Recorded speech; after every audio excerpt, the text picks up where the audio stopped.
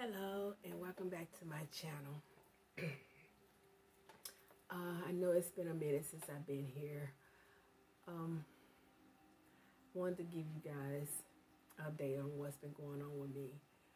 In October, I was um, had my last chemo done for the year. Then I go back in six months and start all over again for the year of 2022.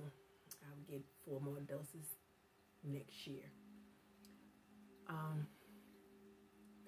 I um, end up getting uh, some autoimmune shots that's supposed to help uh, build my autoimmune system up because um, it had dropped down really low.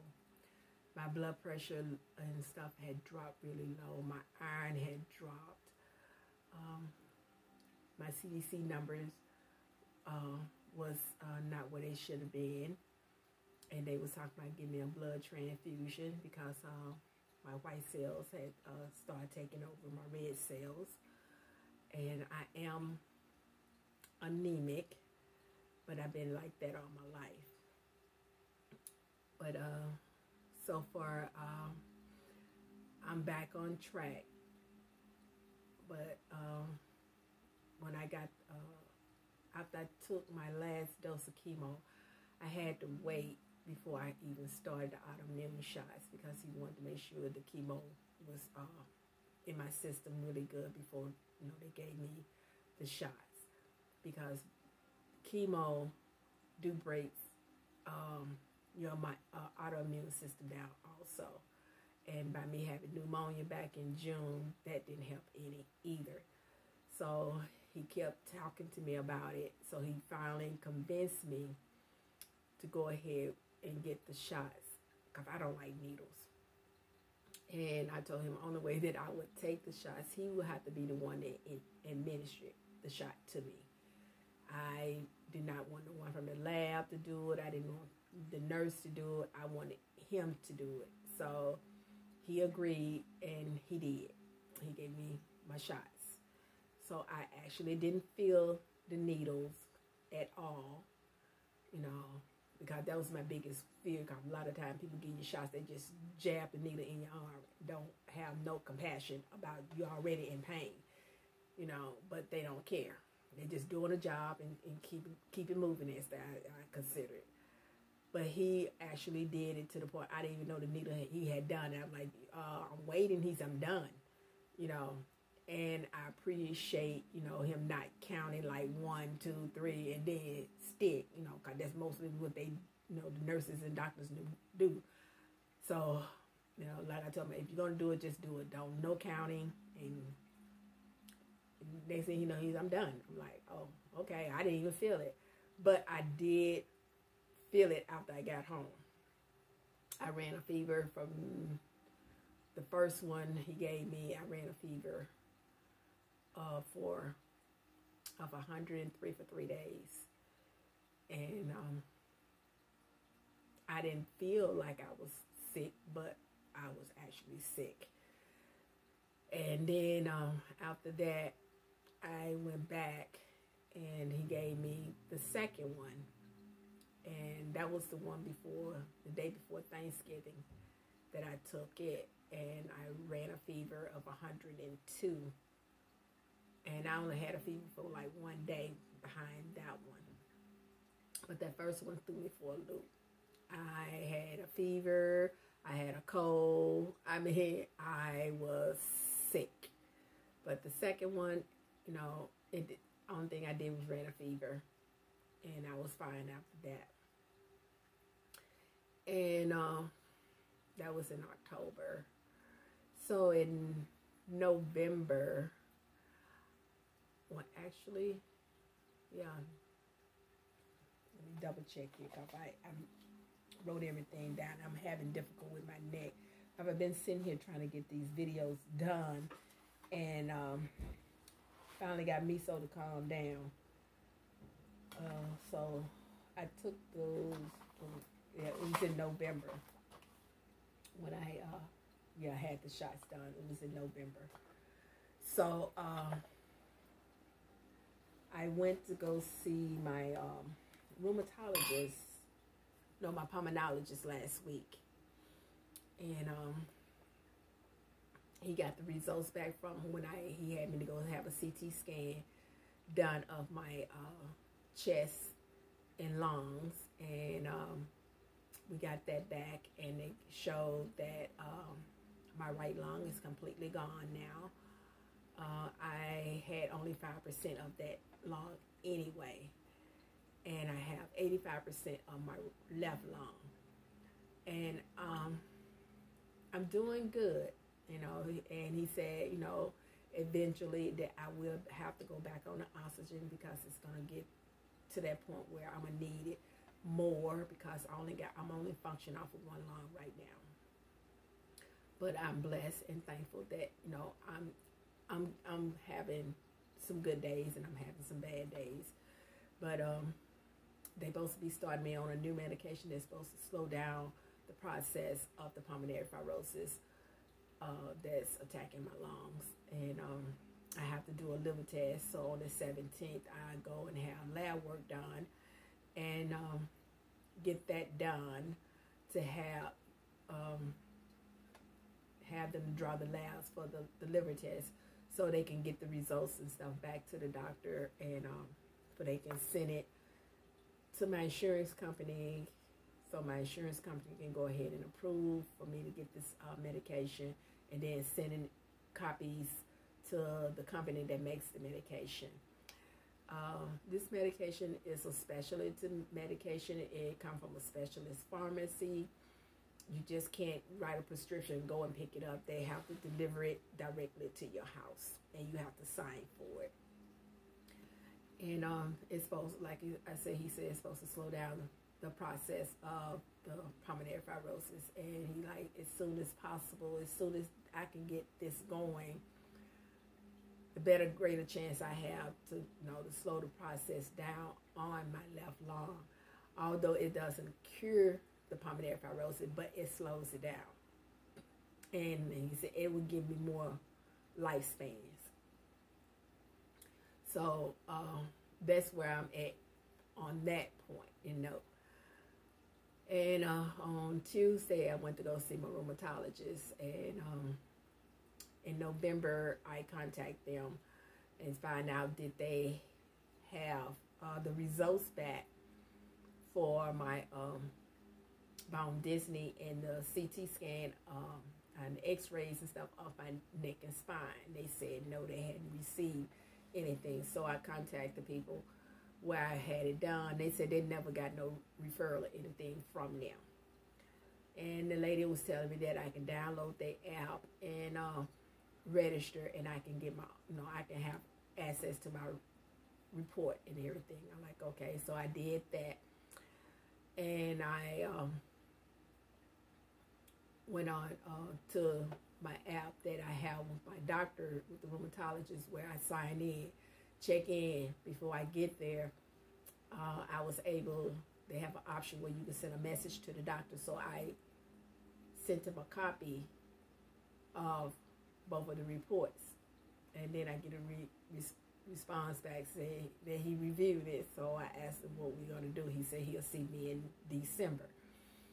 This was the third week in November when this I sent that information to him. So I called the office and asked them why I have to wait until December to see the doctor. She said because uh, the doctor is um, going on vacation and he'll be back. The, uh, the week that um, you come in. I'm like, okay. So when I went in we sat, and I was in pain. excuse me. I was in a lot of pain. So my blood pressure was elevated. And um, his thing was to me when I asked him about the results and everything is pain management.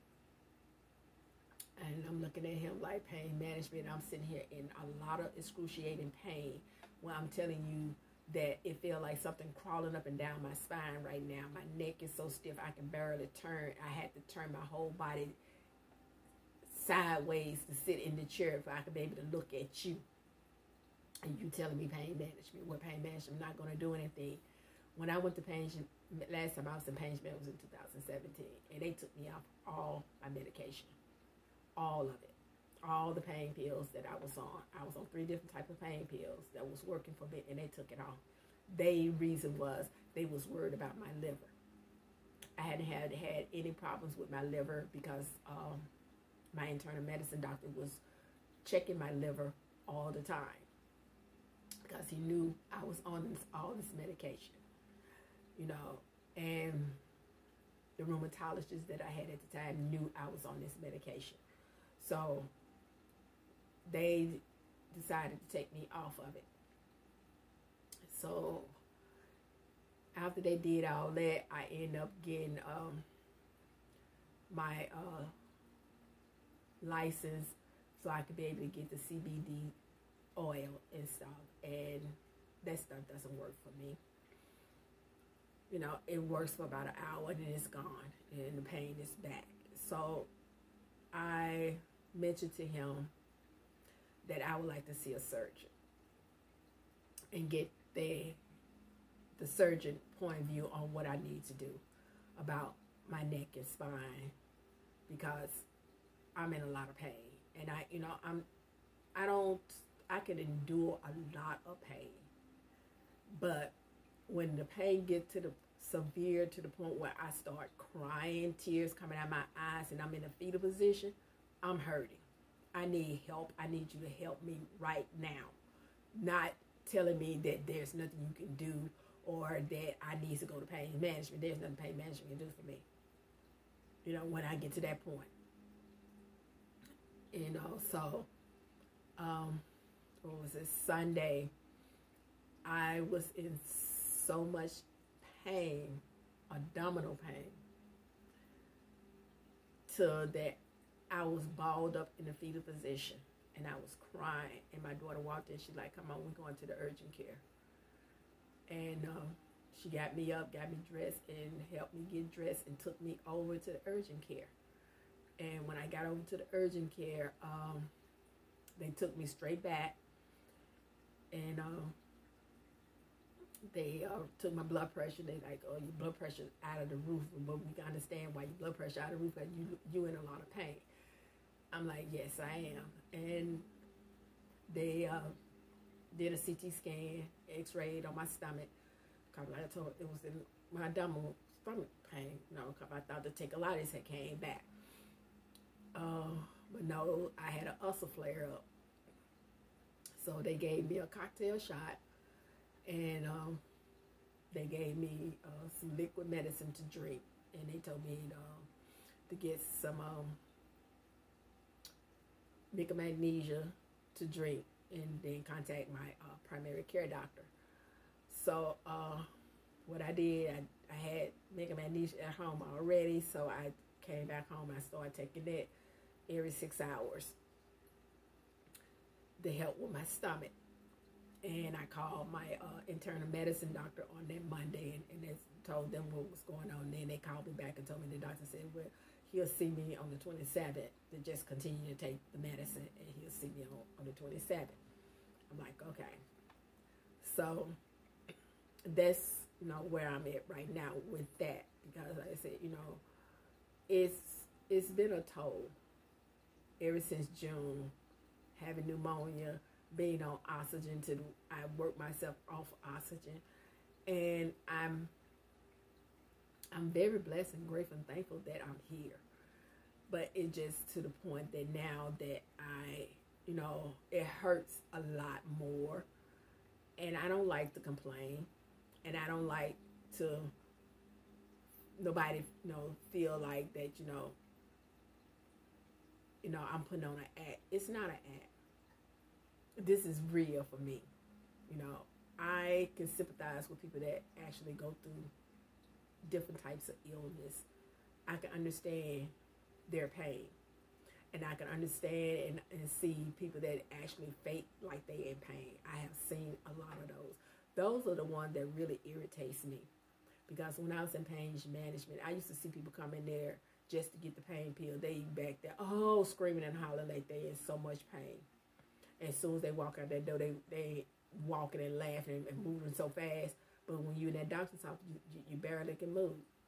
Those are the people that I don't have no sympathy for because they are not in pain.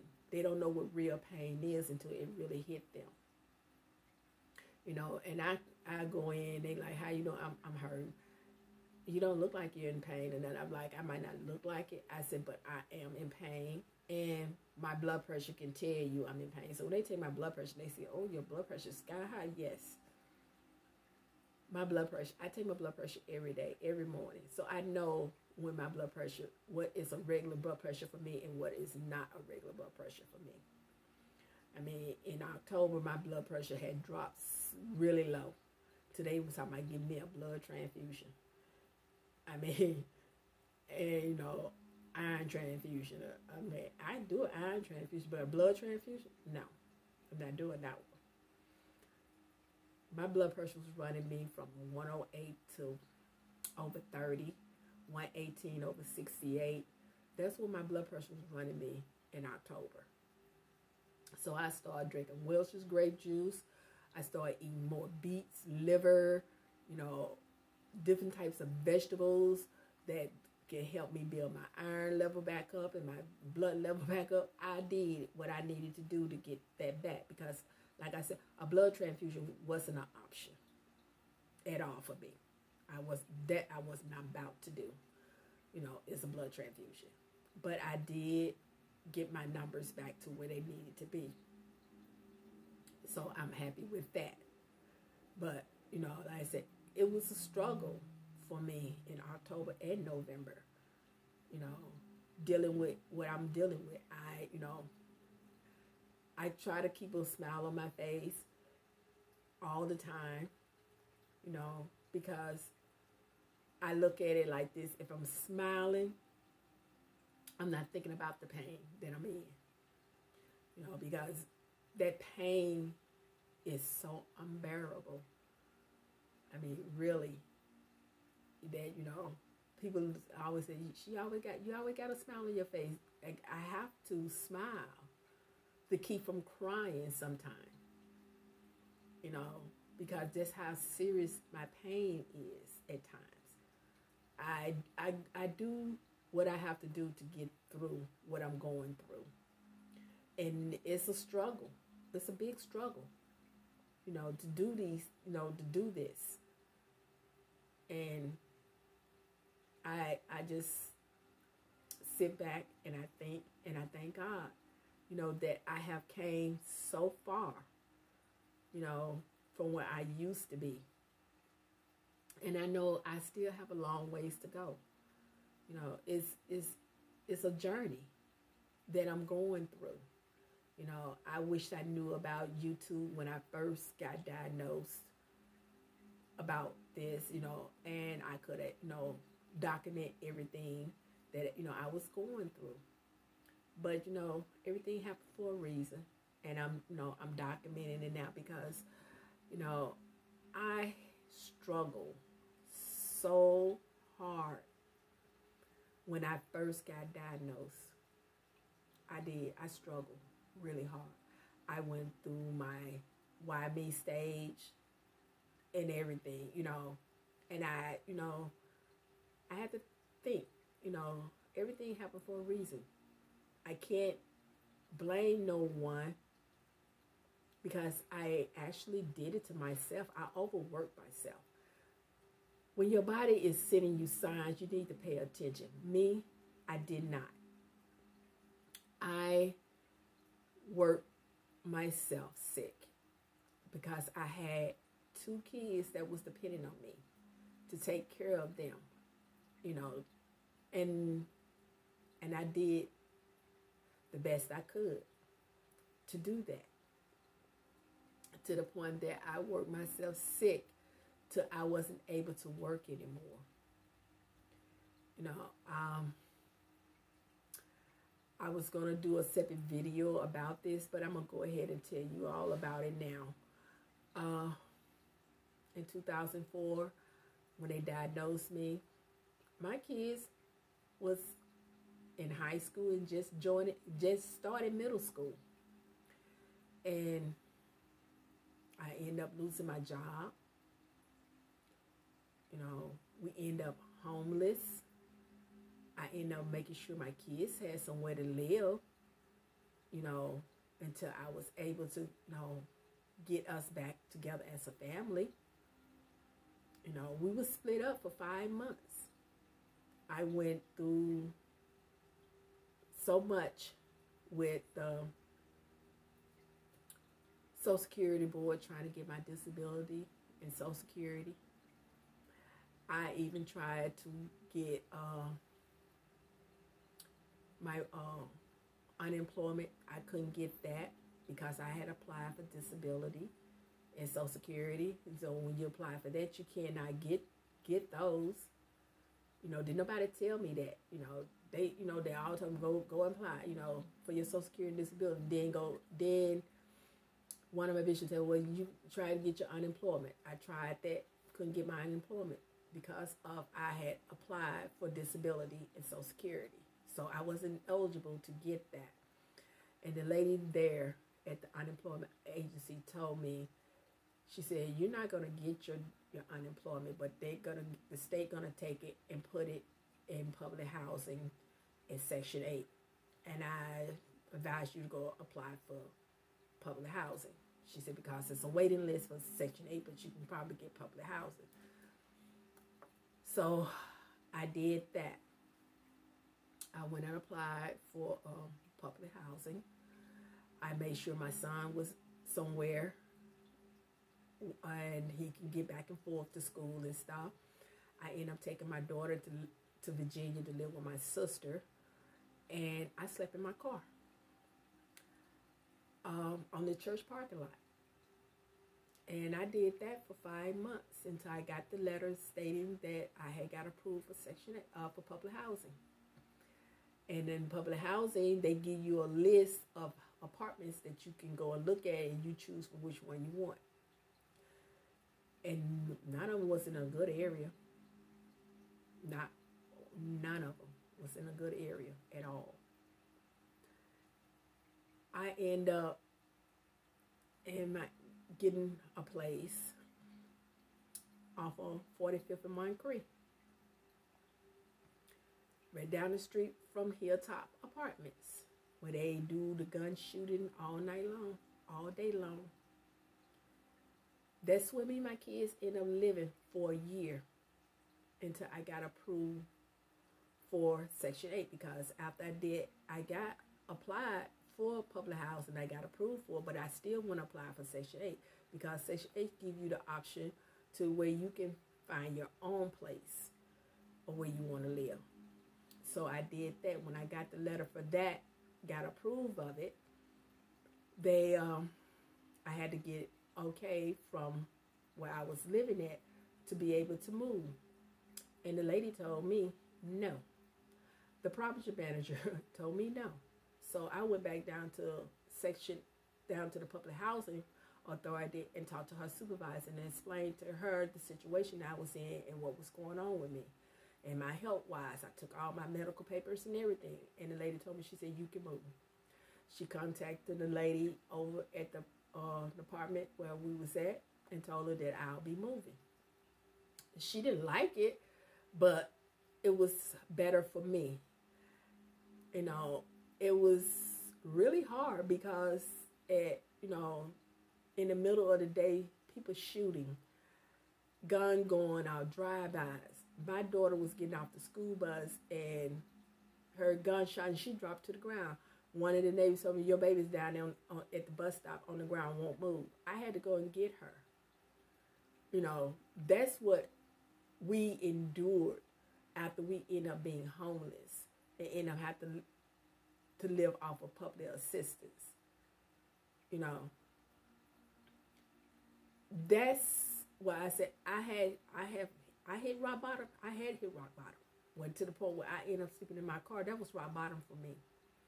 But I prayed and I asked God to help me and guide me to where I need to be and bless me to be able to get public uh, Section 8. And I got Section 8 and I was able to move into an, another area of town.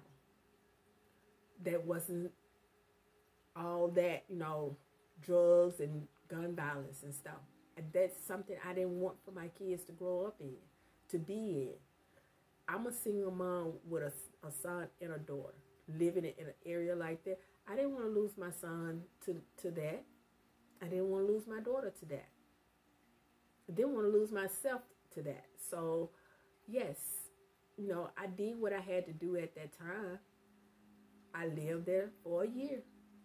Not, you know, actually, I lived there 11 months because that year, like I said, they, the supervisor of the public housing told me I can go ahead and move. I didn't have to wait a whole year. So after that, I, you know, we found us another place, you know, and it was, it was a nice apartment. You know, we was on the third floor.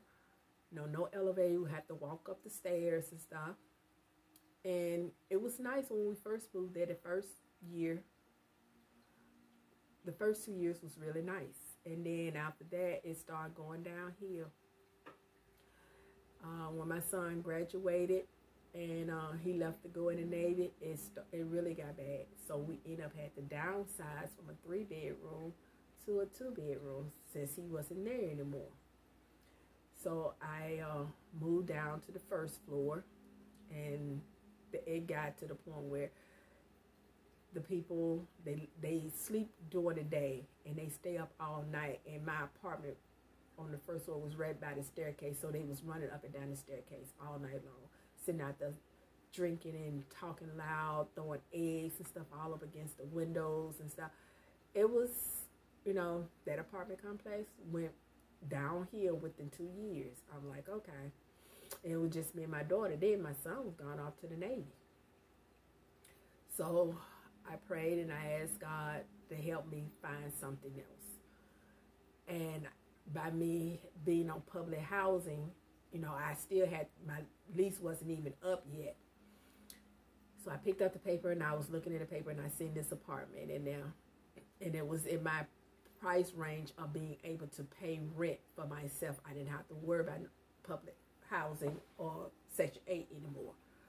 So by then, by then I had started getting my disability and Social Security. So I was able to get this place. So me and my daughter went and met with the lady. It was in a gated community, and it was it was I said maybe uh, two and a half miles from where the old the apartments that we was in at. So we went we went up there and looked at those apartments, and um, and after that, the lady said that you know we can move in and everything, and um, we that's what I did. I moved there until you know my son when he got out the Navy, and then we ended up moving on on the south side of town. So we was all together again when he came home from the Navy. But like I said, I went through a lot you know, we endured a lot. And being separated from my kids for five months was really hard. I got to see my son every Sunday because I would be we would be at church and it would hurt me to be able to you know wasn't able to take him with me but I didn't have nowhere for me to go so it was better for him to be with the family that I had you know had him with. It was one of the church member family. They had sons, and uh, so my son was able to stay with them, and they made sure he got to school and everything. And I really appreciated that, you know, and I was grateful for that. And like I said, um, I ended up taking my daughter all the way to Virginia to live with my sister and her family until I was able to do better. Although I can say my sister offered me to stay, like I told her, I had too much going on. I had applied for public housing. I applied for my disability, and I needed to be here in Florida in case they needed to get in touch with me. Well, I needed to see them, you know, right away. But she didn't know I was living in my car. My kids didn't know I was living in my car. Uh, to this day, my kids still don't know I was sleeping in the car. But I made sure they had a roof over their head and that they was able to get a meal. You know, um, I went to the shelter. They told me I couldn't stay at the shelter because I had a car. So I'm like, okay, I wasn't even able to get a meal or nothing like that. Uh, it was hard. It was really, really hard. You know, I knew I had to take medicine. I needed to be able to eat. And some days I was able to eat, some days I wasn't. You know, but that that was the life that I went through. You know, trying to make sure me and my kids get back together. Like I said, when they approved me for public housing, I took it because I miss my kids. My kids miss me, and we wanted to be a family again. So we have been through a lot together. So when people say they have hit rock bottom, I know, cause I did, and I know how I felt. And a lot of people ask me why you didn't contact your family. I did. I, I got in touch with my one family member that I know that would would judge me. You know, would make me feel bad about the situation that I was in. That's that one person I did get in touch with. You know, because it was it was really a low blow to me that I had to, you know, do that. And I'm not about to just go, you know, and let my family say, oh, I knew this was going to happen, all this. I didn't need that. I didn't need that negative vibe because I was already in enough negativity as it was. I needed uplifting. So for me, my uplifting was not to get in touch with nobody else in my family. You know, I have a lot of pride, you know, and that's why I'm, you know, I'm letting people know about this now, you know, because I want people to understand that a lot of people that you see out on the street, a lot of them is there because they have they don't have a other choice to be there, and then there's a lot of them out there that's out there to be out there. You know, I never thought that I would end up sleeping in my car. Never in my lifetime, never thought I would ever lose my home. But it happened. And I look at it like it was a lesson, a lesson learned that God needed me to, to go through. And it made me a better person today. You know, it made me much stronger and I continue to make me stronger for what I'm going through. You know, and it makes my kids appreciate everything that they have and everything that they do a lot more because they know where we have been. And they don't none of us ever want to go that route again. We never want to be to that that position where we don't have a home. You know, a lot of people take that for granted. I don't take that for granted. My kids don't take that for granted. No. We struggle. Yes, that we do. But we are proud people. We are proud of what we do. You know, we don't like being a burden to no one. You think I really wanted to have to be a burden to my church member and my sister to put my kids there, but I had to swallow my pride and put my kids somewhere safe. I couldn't have them sleeping in the car with me. That I that wasn't an option. I look out for them first and I put them first. You know. So I just wanted all y'all to know that everything that I have been through, that was the lowest part of my life that I've been through since I've been sick is being homeless. You know, I struggle and fight with doctors and, and stuff because I know what I needs to do. And I know what doctors can do for you and I know what they won't do for you. You know, it's it's it's a struggle. It's always a struggle trying to get ahead. You know, I don't burden no one for nothing. I don't too much ask anyone for nothing.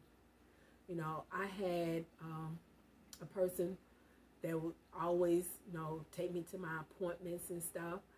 And I don't know was it true or not that they said that I have so many appointments. I never seen nobody had that many appointments in, in, in a week. If you felt that I was being a bother, because at the time I didn't, at the time I had lost, I had to get rid of my car because I couldn't afford it anymore.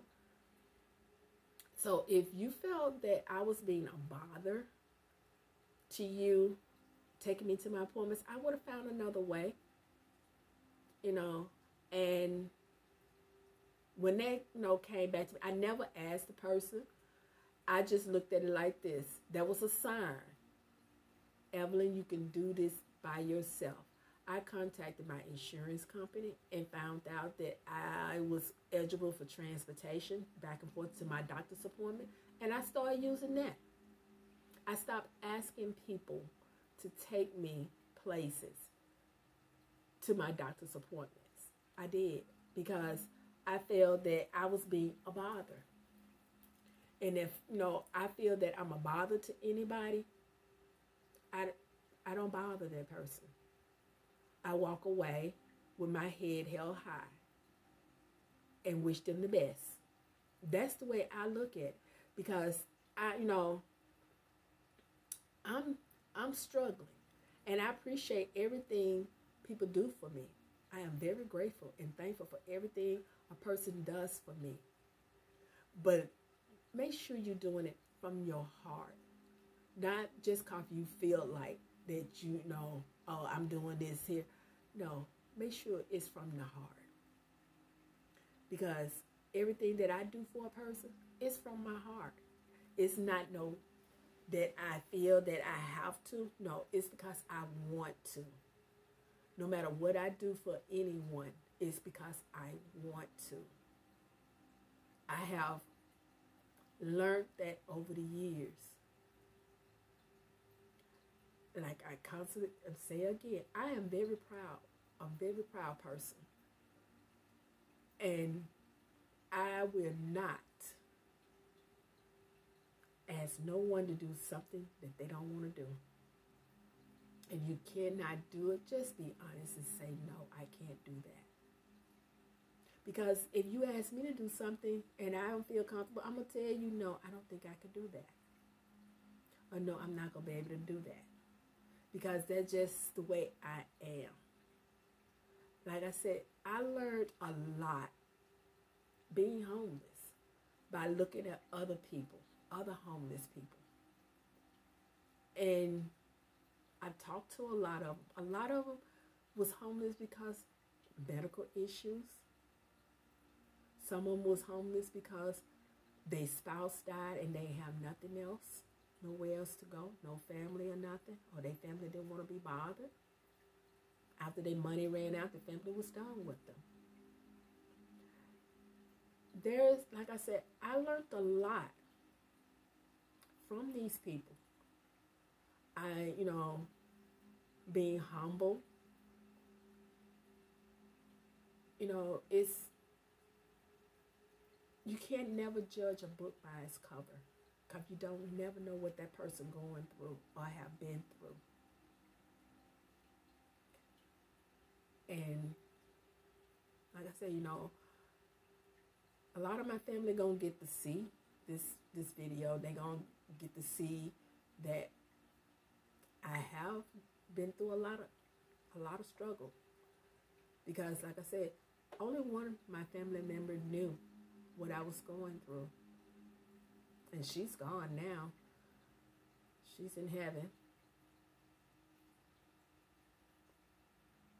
So I just like to say thank you all for watching and sharing and my subscribers to all my videos. Namaste.